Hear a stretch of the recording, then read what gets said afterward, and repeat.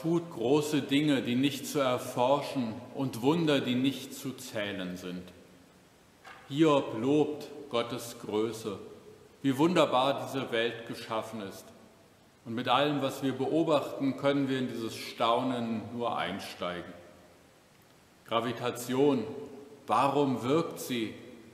Wir wissen es immer noch nicht genau.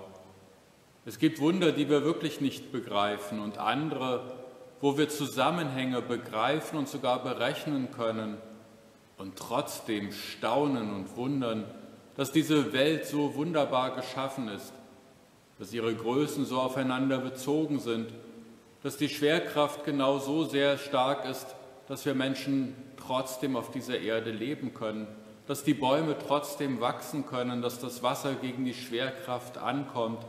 Wunder über Wunder in dieser Schöpfung. Gott tut große Dinge, die wir nicht begreifen und Wunder, die wir nicht zählen können, sagt Hiob. Ausgerechnet Hiob. Dieser Satz steht ganz am Anfang des Hiob-Buches. Hiob hat gerade erfahren, was ihm alles genommen worden ist. Eine Hiobsbotschaft nach der anderen. Seine Herden sind geraubt worden, seine Knechte und Mägde erschlagen, seine Kinder sind tot sein Besitz verloren und er selber krank. Alles, was er hatte, ist verloren gegangen, er sitzt im Elend. Und dann, dann in dieser Situation lobt er Gottes Größe. Uns fällt es leicht, Gott zu loben, wenn wir mit offenen Augen durch schöne Natur gehen, wenn uns Schönes geschieht, wenn es uns gut geht. Aber Gott zu loben, in Zeiten, wo es uns schlecht geht. Das können wir bei Hiob lernen. Er lernt, er lehrt es uns, er lebt es uns vor. Es ist Gottes Weg, den er uns führt, durch Schönes und durch Schweres. Und wir begreifen das eine nicht und das andere auch nicht. Wir begreifen nicht, was Gott für uns tut, damit es uns gut geht. Und wir begreifen nicht, warum Dinge geschehen, die uns schwer fallen. Aber wir können an unseren Vorbildern im Glauben lernen, dass sie beides aus Gottes Hand annehmen, dass sie das Schwere aus Gottes Hand nehmen und darin trotzdem Gottes Gegenwart begreifen und dass sie das Schöne wahrnehmen mit offenen Augen und voller Dankbarkeit sind. Beides wünsche ich uns, dass wir es immer wieder aufs Neue entdecken dass wir immer wieder aufs Neue lernen zu staunen über diese Welt, die Gott geschaffen hat, über das, was Menschen können und vermögen, über das, was uns alles zum Leben geschenkt wird. Und dass wir auch lernen, das Schwere aus Gottes Hand anzunehmen.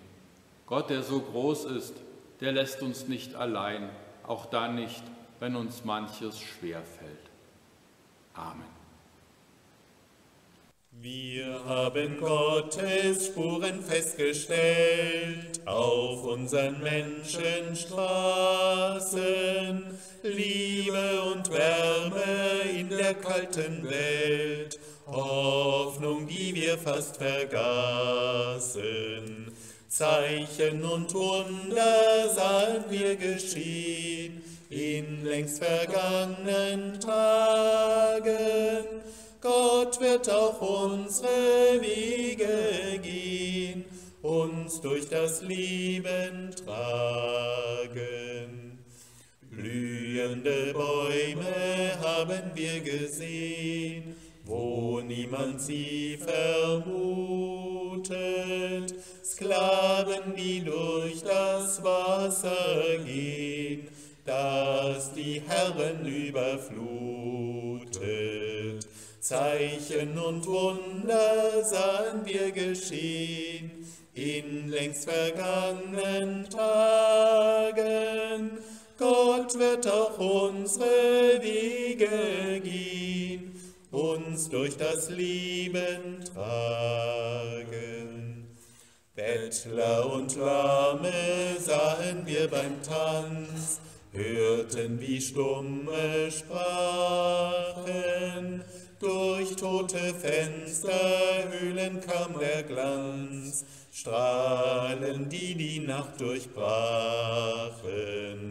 Zeichen und Wunder sahen wir geschehen in längst vergangenen Tagen.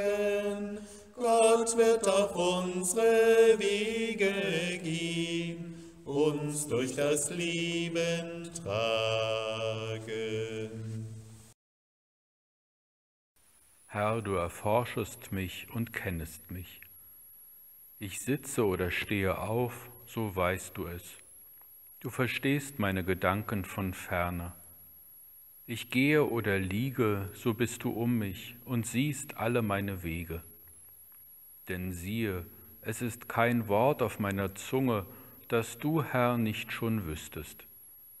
Erforsche mich, Gott, und erkenne mein Herz, Prüfe mich und erkenne, wie ich's meine, und sieh, ob ich auf bösem Wege bin, und leite mich auf ewigem Wege. Amen.